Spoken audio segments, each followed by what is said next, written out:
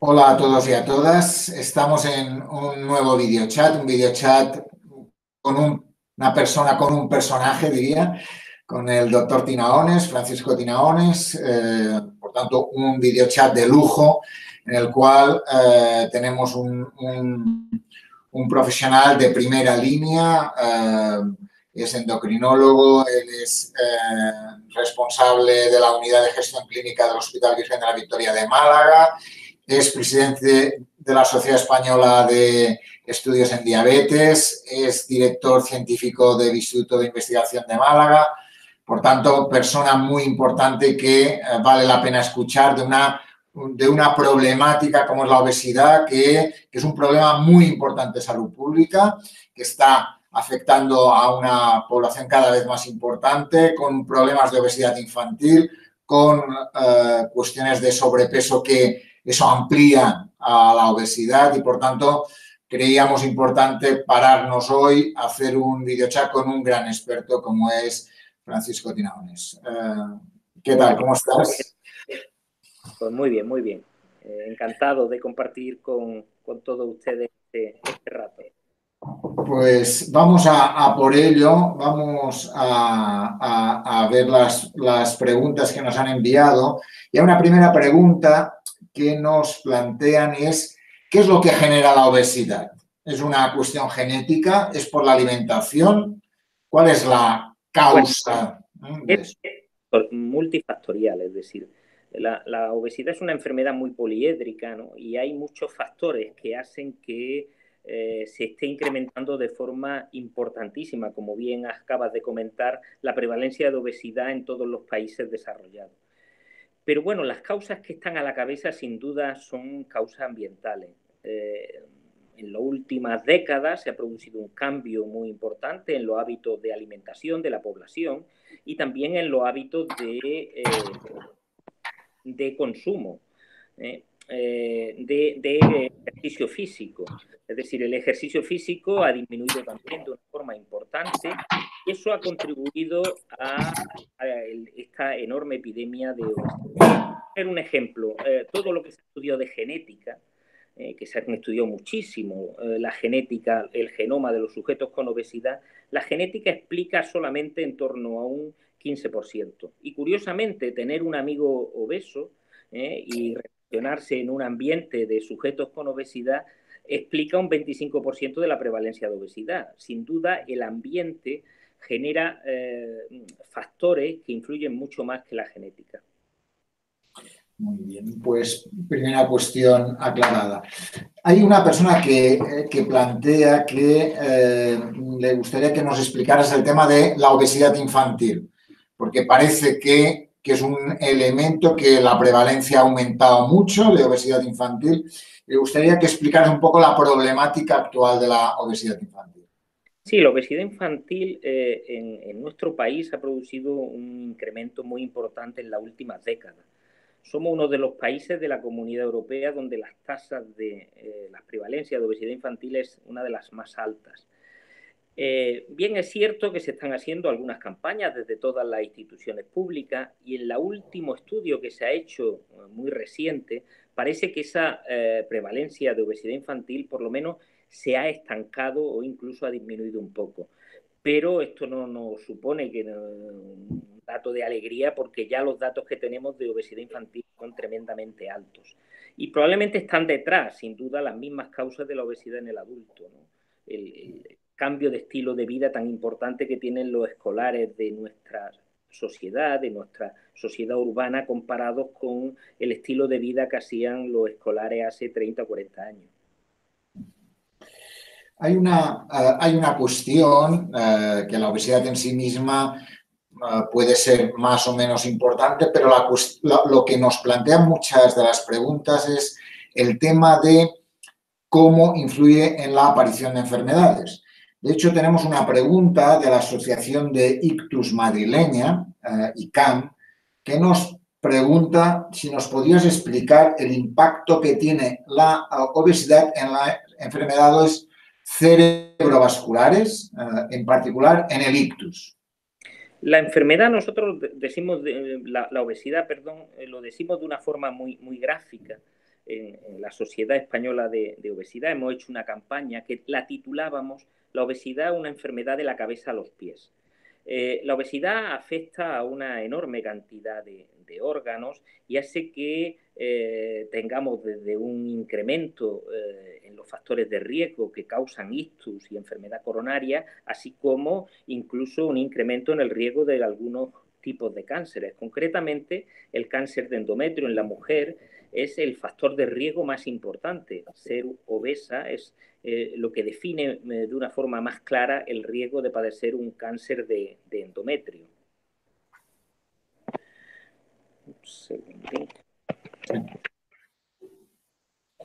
Hablabas del tema del cáncer de endometrio relacionado con obesidad, decías, ¿no?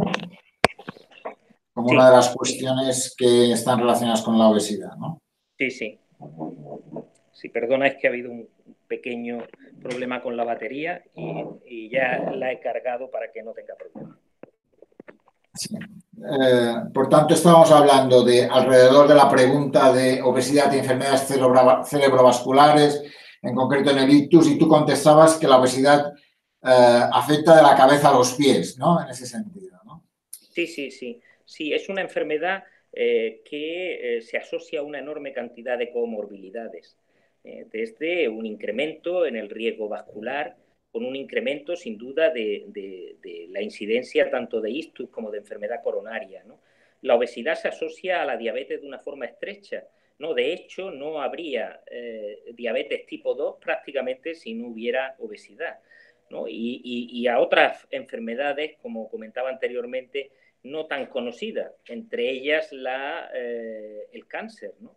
el cáncer, el cáncer de endometrio, concretamente la obesidad es el factor de riesgo más importante en el cáncer de endometrio en la mujer, ¿no? Enfermedades hepáticas, el síndrome de apnea del sueño, el no descansar por la noche y no poder respirar bien y, necesitar pues una máquina que te, que te administre el oxígeno porque se hacen pausas de apnea, pues también es una enfermedad que crea muchas comorbilidades y está directamente asociada a la obesidad. Más de dos enfermedades definidas por por, los eh, estándares de, cómo se define una enfermedad, están asociadas de forma indiscutible a la obesidad. ¿Y, por qué la obesidad es un factor de riesgo que de padecer un ictus? Por esa misma idea, ¿no? Por, ese mismo planteamiento que decías, ¿no? Sí, bueno, la obesidad se asocia a alteraciones del perfil lipídico ¿no? Eh, y se asocia a la diabetes, ¿no? que son dos factores de riesgo muy importantes, y a la hipertensión. Es decir, un sujeto eh, obeso tiene una mayor eh, probabilidad de tener hipertensión, hipertensión que curiosamente disminuye o se cura cuando bajan de peso, tienen probabilidades de tener una diabetes, que también en las fases iniciales si bajan de peso se cura, y tiene un perfil lipídico alterado, tienen, normalmente tienen un HDL, que es un factor protector bajo, y un colesterol y unos triglicéridos más elevados. No, todo eso hace que... Eh, sea un, factor de riesgo, estas patologías constituyan un factor de riesgo de cualquier enfermedad vascular, ¿no? Y entre ellas el ictus eh, es mucho más prevalente en los sujetos con obesidad. Muy bien. Hay, ligado a eso, hay una pregunta que nos hacen y es eh, alrededor de el estrés y la obesidad. ¿Hay una relación entre estrés y eh, sobrepeso y obesidad? Sí, las alteraciones mm, de la esfera psíquica que tiene un sujeto con obesidad eh, incluso son antes de aparecer la obesidad y durante la obesidad. Hay muchos estudios que relacionan un incremento de estrés, un incremento en la angustia, incluso cuadros depresivos con mm, periodos de ingesta compulsiva de alimentos. Muchos pacientes, cuando uno le interroga eh, qué ha podido motivar su incremento de peso, los pacientes dicen de forma clara que han tenido un, periodo pues, de un problema laboral o un problema familiar o un problema del entorno social que le ha generado pues, angustia o en algunos cuadros, en algunas veces, algunas veces depresión, lo que le ha provocado pues, una ingesta muchas veces compulsiva que está detrás de esa obesidad, ¿no? que es lo que llamamos trastorno por atracón y que habitualmente está eh, pues siempre un problema de angustia, de estrés, de, depresión detrás. Y luego cuando el sujeto tiene obesidad, los pacientes que tienen obesidad tienen también una mayor prevalencia de alteraciones del estado de ánimo, es más frecuente la depresión y una baja autoestima en un sujeto que tiene obesidad. Es decir, ese concepto que el obeso es un sujeto feliz, bueno, pues ocurre en un porcentaje de pacientes, pero en la mayoría está asociado a trastornos de, la esfera psíquica en muchos casos. Perfecto. Muy bien. Tenemos eh, una pregunta alrededor de que nos preguntan sobre, dice, si es cierto que unos alimentos engordan más que otros, a igualdad de calorías. Bueno, eh, el contenido calórico de los alimentos es mm, lo más, una, de las cosas más importantes para, para definir si un alimento eh, tiene capacidad de subir de peso o no. Bien es cierto que, algunos alimentos pues, vienen con, una estructura que dificulta la absorción de ese tipo de calorías, pero yo creo que no debemos de confundir a la población, ¿no? Cuando en un alimento aparece, y afortunadamente ya en la mayoría de los alimentos aparecen las calorías que aporta, uno debe de fiarse de esas calorías y en igualdad de calorías eh, los alimentos que estamos ingiriendo en, regla general y para, para, la población que, lo aplique de una forma práctica, las calorías que vienen en la etiqueta de cualquier alimento eh, pues son definitorias de la capacidad de engordar que tiene ese, alimento o ese producto. Eh, también tenemos una pregunta que eh, de alguna forma hay gente que plantea que ellos no quieren estar obesos, pero que les parece muy difícil perder peso. por tanto, la cuestión es, qué hacer para no tener eh, obesidad, pero la cuestión es cuando estoy con sobrepeso o con obesidad, me cuesta mucho perder ese peso. ¿Qué, consejo le podríamos dar a esta persona? Bueno, el problema, el problema real que tienen las sociedades contemporáneas es que vivimos en un ambiente eh, obesogénico. Es decir, eh, todo lo que nos rodea es inducirnos ¿no? a consumir más calorías de las que necesitamos y por otro lado vivimos en un ambiente donde la actividad física pues queda absolutamente diluida, ¿no? No hay trabajos que, lleven a la actividad física, la mayoría del transporte se hace sin, eh, por transporte público, no, no caminando, entonces vivimos en un ambiente claramente obesogénico. Cuando un sujeto se pone a perder peso o hace un intento de perder peso, eh, eh, la verdad es que tiene que tener un importante grado de motivación, porque es una carrera a medio largo plazo, es decir, no hay ninguna aproximación dietética sana que eh, induzca una pérdida de peso mayor de un kilo a la semana. Entonces, claro, es una carrera de, de, fondo, ¿no? Cuando un sujeto quiere quitarse pues 15 o 20 kilos que le pueden sobrar, pues eh, tiene que eh, decidir y motivarse de una forma muy importante para hacer esa carrera de fondo, ¿no? Y porque, claro, los efectos no son a corto plazo, no tenemos ningún remedio y cualquiera que, venda un remedio milagroso de que en 15 días te va a quitar 10 kilos, eh, está engañando a la población. No, no, no es así. No hay, no hay ahora mismo en este momento ninguna medida ni, ni, ni dietética ni eh, farmacológica que sea capaz de provocar esa reducción de peso tan importante en, tan poco tiempo. ¿no? Y entonces es un esfuerzo, ¿no? que en muchos casos, pues ese esfuerzo se puede acompañar de algún medicamento ¿no? que ayude a, mantener pues, esa carrera de, medio fondo, pero eh, todos los pacientes tienen que concienciarse y motivarse que para eh, recuperar un peso normal tiene uno que invertir mucho en cambio de estilo de vida. Alrededor de, ese tema hay, tenemos varias preguntas. ¿no? Hay una que dice, ¿por qué a veces no pierdo peso o incluso engordo comiendo menos que antes?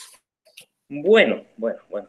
Es, eh, verdad que, tenemos, hay una cierta variabilidad, ¿no? Eh, y cada vez en, ciencia estamos viendo más que con la misma ingesta calórica, pues hay sujetos que tienen una mayor tendencia a engordar que otros, ¿no? Y hay factores ambientales que pueden eh, eh, definir eso, ¿no? Eh, pero pero al margen de eso, ¿no? podemos aplicarle a todos los pacientes una regla termodinámica de decir, bueno, pues si come usted esto y come otro sujeto lo mismo, pues los dos deben de engordar igual. No es así, no es así. Hay factores como desde los propios microorganismos que tenemos en nuestro intestino, como la cantidad de tejido adiposo marrón que tenemos, como la genética que traemos, eh, hacen que un sujeto tenga mayor o menor tendencia a engordar. Y eh, cuando un sujeto, por ejemplo, y, esto ocurre muchas veces con la edad, ¿no? Eh, un sujeto, por, ejemplo, se ha puesto a dieta con, con, 20 años y con esa dieta ha conseguido perder pues 10 kilos en, dos meses y esa misma dieta se la aplica cuando tiene 60, obviamente no pierde el mismo peso, porque con el paso del tiempo nuestro gasto calórico disminuye, nuestra masa muscular disminuye y eso hace que los requerimientos energéticos sean menores, ¿no? Entonces, lo que quieren algunos pacientes que, bueno, que lo que una dieta me funcionaba hace 10 años, pues ahora no me funciona. Es verdad que, vamos cambiando y, a lo largo de toda nuestra biografía, pues también va cambiando de alguna forma eh, nuestro metabolismo, ¿no? Pero, pero bueno, hay, hay, hay que individualizar y uno tiene siempre que cuando se encuentra en clínica con un sujeto que te, que te viene a perder peso, hay que individualizar, ¿no? Y no hay que culpabilizar al, paciente de, su enfermedad, sino que de alguna forma hay que buscar con él una estrategia individual para conseguir un peso, un peso saludable.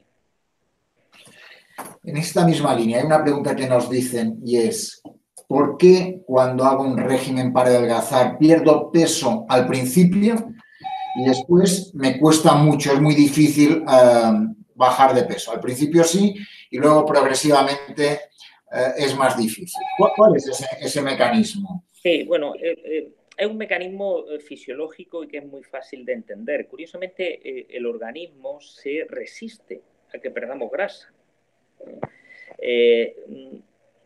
a lo largo de toda la evolución del ser humano, el ser humano ha vivido en épocas de hambruna y tener tejido adiposo era una garantía de supervivencia es decir, almacenar tejido adiposo eh, a lo largo de toda la historia de evolución es una garantía de supervivencia. Y esos mecanismos eh, para no perder tejido adiposo los seguimos manteniendo en una época contemporánea donde eh, bueno, tenemos un exceso de alimento que a lo largo de toda la historia de la humanidad nunca lo ha tenido el ser humano. ¿Y qué hace el organismo? Bueno, es verdad que al principio cuando uno hace una dieta, pues consigue perder más peso, pero el organismo es capaz de autorregularse para, eh, de alguna forma, incluso bajar la temperatura corporal para evitar de que se siga perdiendo más peso. Y eso es una realidad fisiológica. Es decir, un sujeto se pone a dieta, una dieta de, de 1.200 calorías, el primer mes pues pierde 5 o 6 kilos y el segundo mes, pues en vez de perder 5 o 6, pierde 3 o 4 e incluso el tercer mes, pues la pérdida es incluso un poquito menor, ¿no? Eso, eso realmente se lo explicamos a todos los pacientes cuando los sometemos a una dieta hipocalórica. Es real, eso ocurre así y, eh, es de alguna forma una defensa del organismo para evitar que perdamos eh, tejido adiposo, que era una garantía de éxito, de supervivencia a lo largo de toda la historia de la humanidad. Muy bien. Por tanto, decías que la clave cuando hacemos un intento de perder peso, el, tratamiento tiene que ser individualizado, personalizado y definir con el paciente, buscar con el paciente cuál es la mejor estrategia para poder conseguirlo. Y eh, en ese contexto hay una cultura de eh, una cultura donde en Occidente se come mucho, donde hay mucho alimento, pero por otra parte, desde estudios que estáis haciendo, eh, se está diciendo la importancia de estar delgado, ¿no? Eh, ¿Cómo, combinamos esa doble faceta que, ocurre en este momento? Bueno, es verdad que, que vivimos ahí una cierta no ambivalencia, ¿no? Pero eh, en, el momento actual, eh, mantener un peso adecuado es una garantía de salud indiscutible. Es decir, eh, mm, el, acortamiento de la esperanza de vida eh, en función del, peso corporal que tenemos está asociado de una forma muy directa, es decir, a mayor índice de masa corporal, es decir, mayor peso, menor esperanza de vida. Eso, eh, está absolutamente eh, demostrado.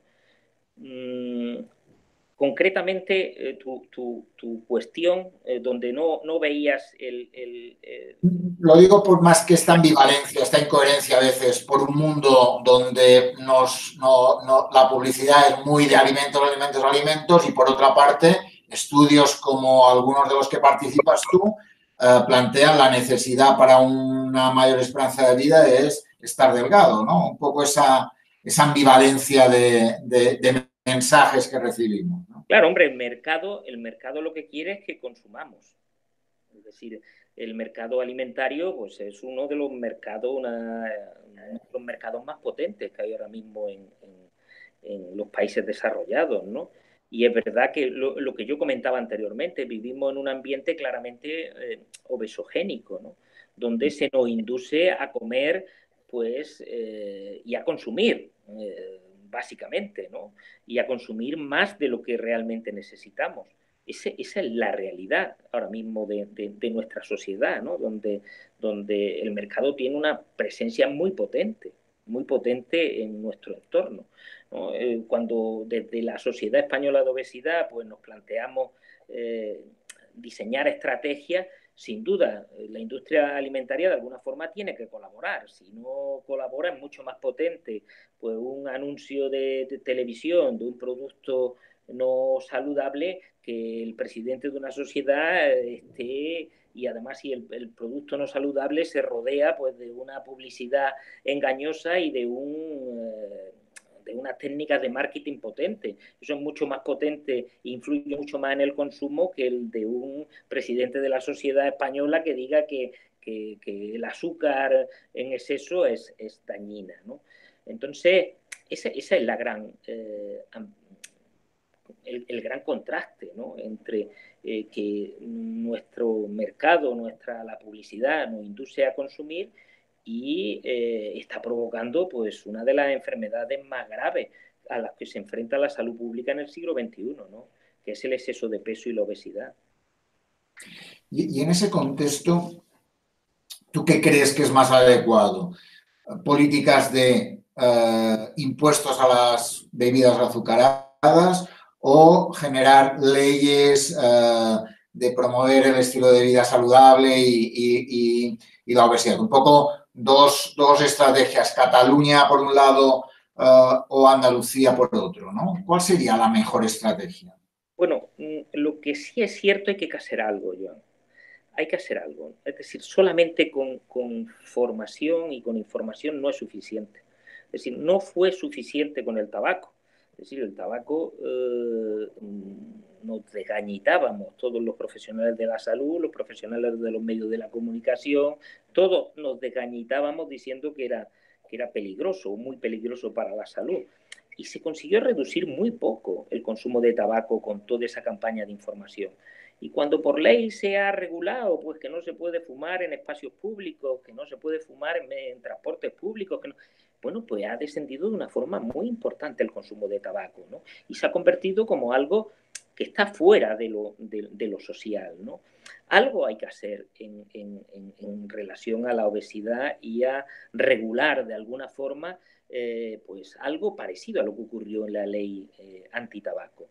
Eh, aquí ha habido una aproximación que desafortunadamente, pues bueno, por el, adelanto con, de las elecciones no ha llegado a, aprobarse en el Parlamento, pero hay en Andalucía hay una aproximación ¿no? a, este, a esta a legislar de alguna forma, ¿no?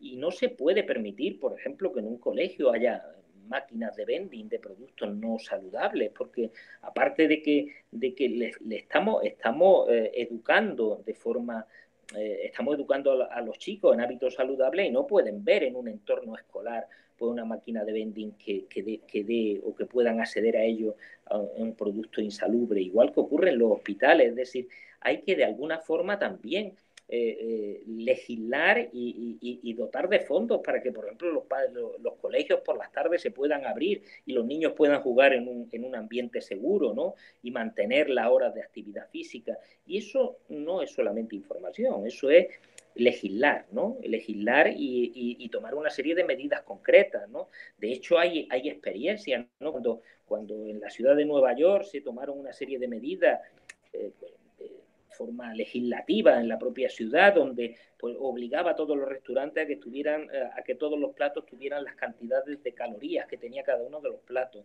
Obligaron a que hubiera agua eh, accesible en cualquier eh, entorno escolar o, entorno de trabajo. Obligaron a que los, las empresas tuvieran un sitio para aparcar bicicletas. Obligaron no de Nueva York por nada, porque se enfrentaron bueno, eh, son muy fuertes las compañías de, eh, que, alimentarias, pero y se hicieron una serie de medidas que tuvieron una repercusión en, la salud de, los neoyorquinos. ¿no? De hecho, descendió casi un punto la prevalencia de obesidad infantil en, Nueva York. ¿no? Y eso hay que, hay que ponerlo encima de la mesa y hay que tomar eh, medidas desde de, la clase política, implicarse de una forma más importante que el solamente hacer campañas de, información. Las campañas de información muchas veces tienen poca penetrancia. De hecho, fíjate una cosa muy, muy, curiosa, en la sociedad española nuestra de obesidad hemos hecho una encuesta donde la gente nos decía el peso y la talla. Y, luego le preguntábamos si se consideraban obesos, o sobrepeso o normopeso. Y curiosamente, los que por peso y talla eran obesos, solamente un 20% se veía como obeso. El 80% de la población que del peso que nos daba y de la talla que nos daba salía que era obeso, no se percibían como que tenían un problema de salud. ¿no? Entonces, imagínate solamente con campaña eh, de información, esa campaña de información llegan a ese sujeto y ese sujeto dice, ah, esto no va conmigo, esto va con el obeso mórbido que hay paseando por la calle, pero no va conmigo, ¿no? Entonces hay que, hay que tomar eh, medidas de otro tipo, ¿no? Y yo creo que el ejemplo del tabaco puede ser un ejemplo importante a seguir, ¿no? Con los matices que tiene y con la dificultad que hay de pues, poner impuestos a determinados alimentos, porque rápidamente la industria alimentaria, que es muy potente, pues se echa encima y no es fácil. Tiene que ser un gobierno y una clase política que tenga la valentía de, coger el, el toro por los cuernos de alguna forma falta más contundencia, ¿no? De alguna forma, con solo información no llegamos y por tanto eh, medidas más drásticas de alguna forma y más y desde una perspectiva de una unión eh, eh, desde lo político para poder conseguir unas leyes eficaces, ¿no? Que sería probablemente la línea a seguir.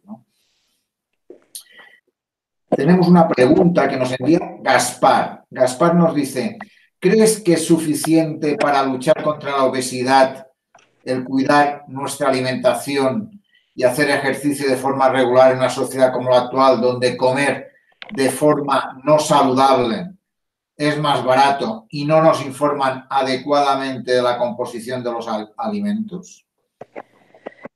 Bien, bien. Eh, es verdad que el tema que, la última parte de la pregunta creo que es tremendamente interesante, ¿no? porque eh, hay que hacer un esfuerzo, un esfuerzo por informar de a los sujetos de forma clara eh, lo que están consumiendo. Y si uno mira eh, la etiqueta de composición de cualquier alimento ¿no? que compra en cualquier supermercado, lo primero hay que tener una vista del INSE ¿no? para conseguir identificar los numeritos que ponen en, en, la composición. Luego hay que tener también un nivel de instrucción alto para entender lo que son calorías, lo que son grasas, lo que son la mayoría de las veces viene por, gram, por 100 gramos y no por el contenido de todo el producto. Es decir, no es fácil identificar el etiquetado de un, de un alimento para uno sacar la conclusión si el producto es saludable o no saludable. ahí hay que dar un salto eh, muy, muy, muy importante.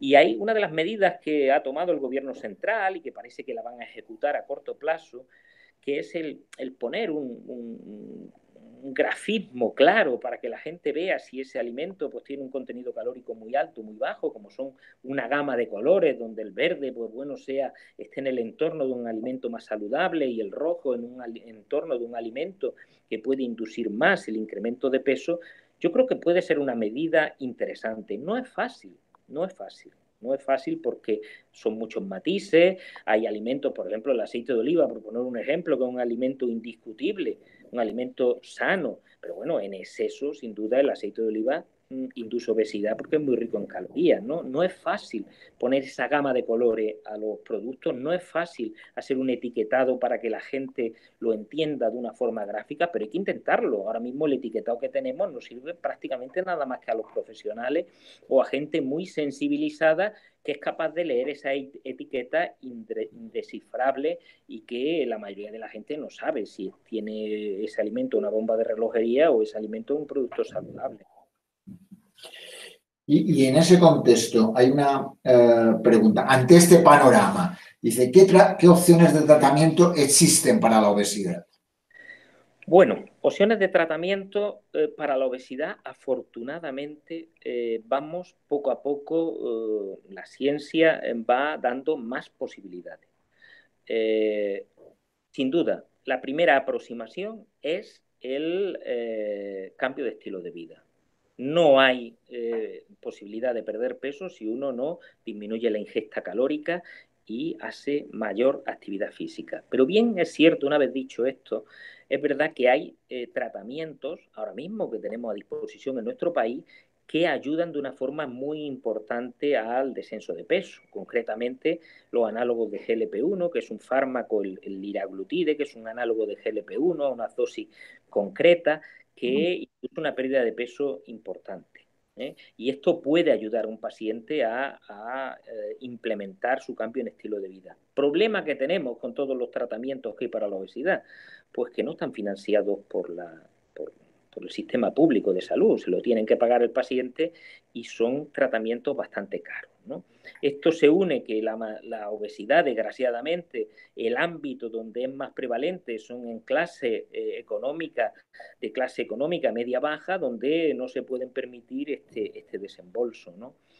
Eh, yo creo que vivimos un problema ¿no? con el tema de la obesidad. Todavía no hemos introducido en nuestro imaginario que la obesidad es una enfermedad.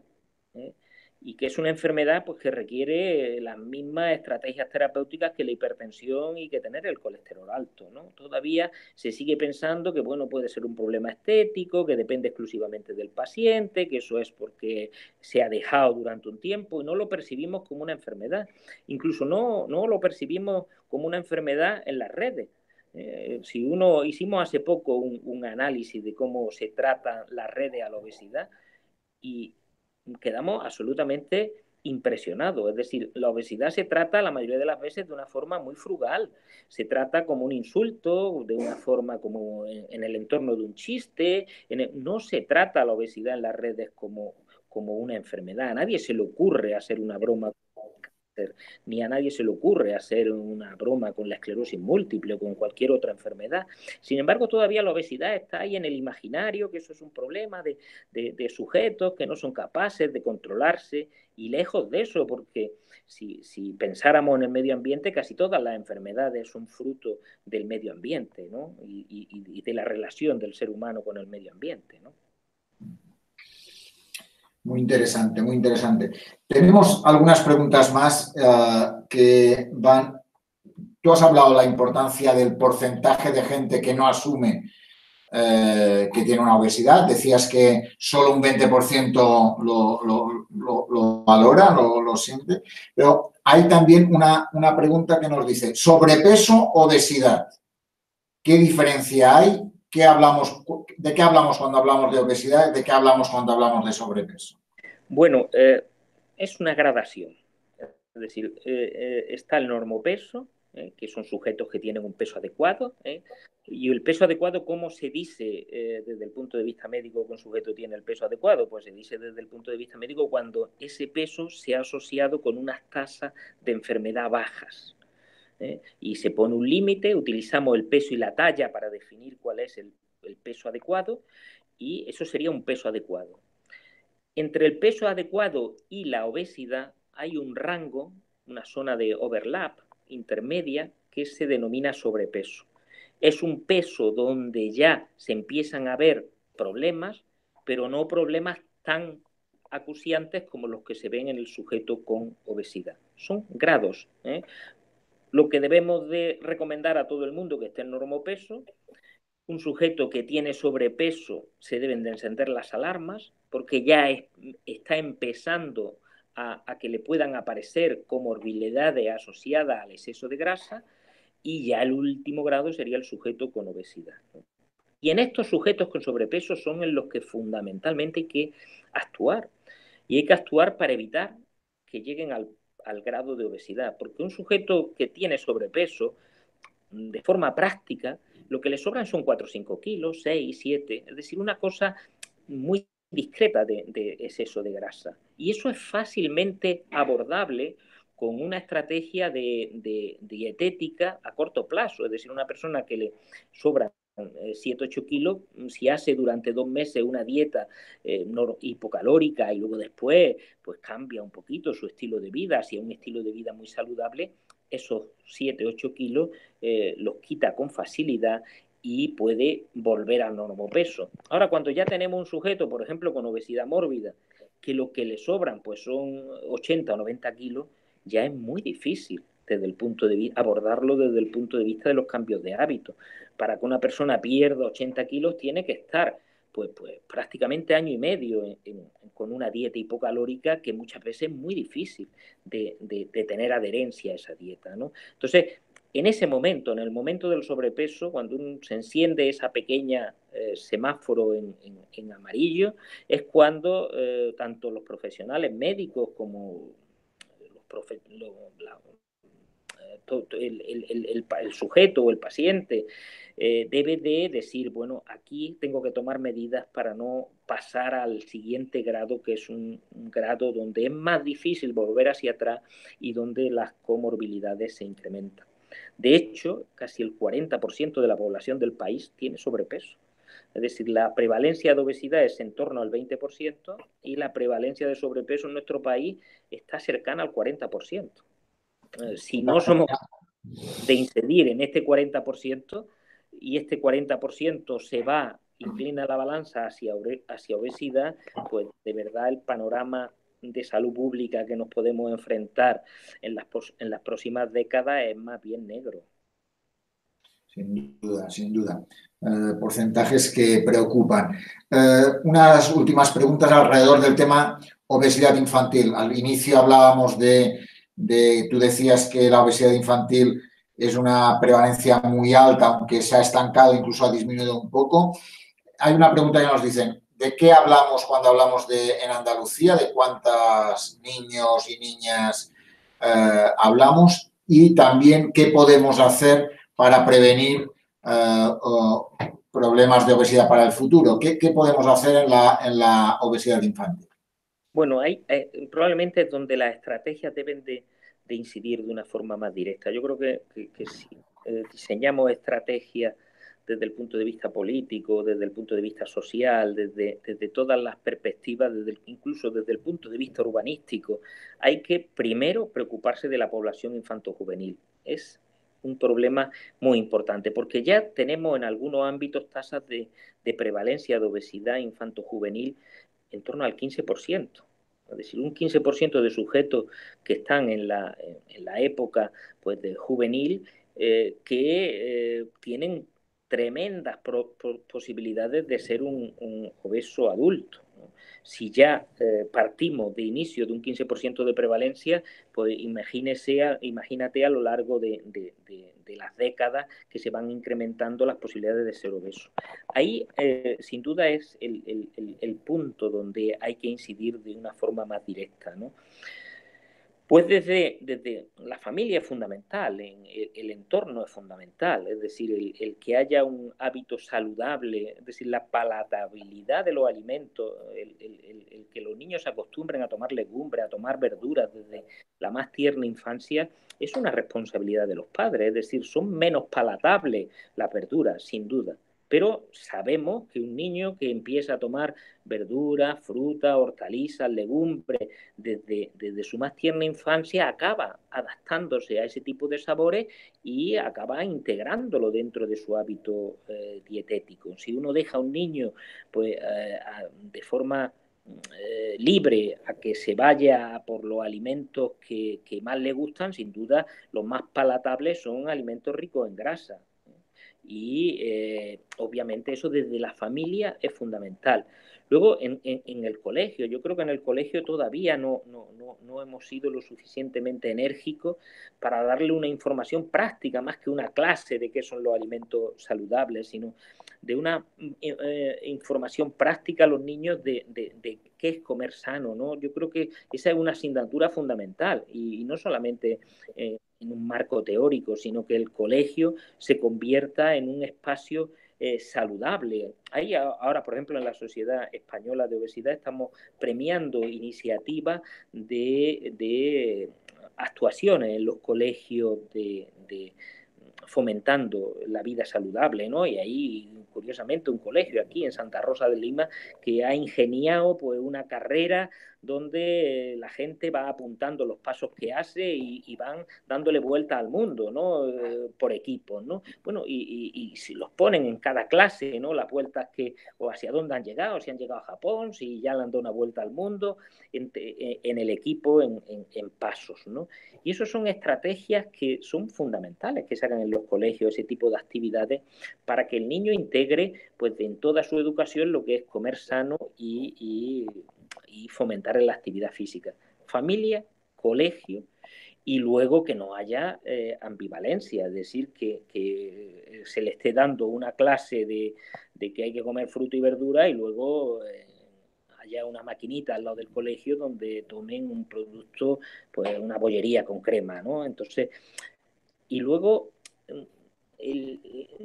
determinadas eh, acciones de otro tipo, ¿no? De, favorecer, ¿no? Porque los niños puedan hacer actividad física, ya sea en el colegio, ya sea eh, en, el entorno de, la ciudad, hacer ciudades que sean más habitables para los niños y que puedan de alguna forma eh, fomentar la actividad física. Tenemos mucha tarea, mucha tarea. Y yo creo que todavía Incluso eh, yo creo que, ahí la, información ¿no? que se ha pasado a los padres durante estos años ha tenido algún efecto, ¿no?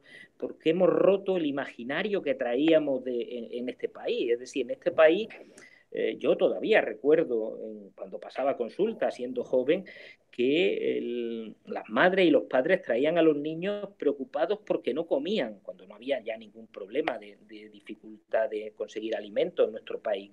Y les preocupaba que el niño no comía, pero no le preocupaban que el niño tuviera un incremento de peso. ¿no? Y, lo, y todavía lo interpretaban o se interpretaba como un pequeño incremento de peso era saludable y que era preferible para la salud tener un niño gordito que un niño eh, delgadito y, frágil, ¿no? Cuando es todo lo contrario, ¿no? Y, afortunadamente ese concepto, ¿no? El concepto de que, de que en la infancia eh, la, la, obesidad también es un problema, yo creo que eso está aprendiendo afortunadamente en nuestra sociedad, ¿no? Pero hay que hacer muchas más cosas. Sin duda, muchas cosas hay que hacer. Probablemente los percentiles 3 de un niño pequeño no son ningún problema, probablemente, y por tanto habría que cambiar a veces actitudes con respecto a estas cuestiones que a veces nos preocupan y deberían de dejarnos de preocupar tanto. No sé si alguna cosa quieras añadir a todas estas interesantes comentarios que nos has hecho en una problemática tan importante como es el tema de la obesidad, donde las cifras que nos has comentado son tan relevantes y que probablemente, como decías tú, eh, necesitamos que una clase política que actúe con contundencia ante una problemática de salud pública muy importante. Yo em, probablemente resumiría tres conceptos que yo creo que son básicos. El concepto de que veamos, respetemos a la obesidad y la respetemos desde el punto de vista de que mm, es una enfermedad. Es una enfermedad y requiere el mismo respeto que eh, pues todas las otras enfermedades que están catalogadas como tal. ¿no? El sujeto obeso no es un sujeto que, es alguien que tiene la culpa de, la patología que padece. No podemos culpabilizar al sujeto obeso, igual que, que no culpabilizamos pues, a quien tiene un problema de, un cáncer de colon, porque el cáncer de colon también está asociado a, los hábitos alimentarios, ¿no? Y no se le culpa a un cáncer de colon, pues bueno, tiene usted el cáncer de colon porque no ha comido la suficiente fibra que tenía que haber comido. No somos debemos de darle, quitarle este, este, esta, este, esta connotación negativa a, la obesidad y darle una connotación que tenemos que preocuparnos por el sujeto que está obeso y tenemos que darle la misma categoría y las mismas oportunidades desde el punto de vista terapéutico, desde el mismo, eh, desde el punto de vista educacional que cualquier otra enfermedad. Eso, eso en el paciente obeso. Ahora, el evitar este problema de salud pública vaya más, sin duda requiere estrategias contundentes.